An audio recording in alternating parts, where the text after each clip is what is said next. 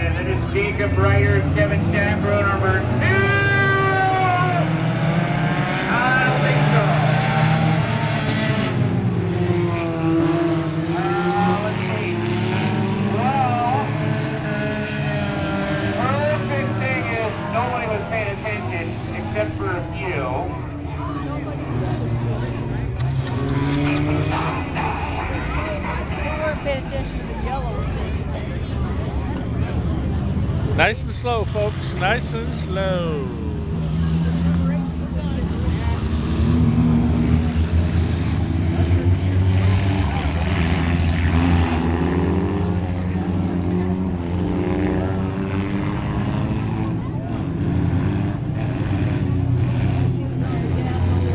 All right.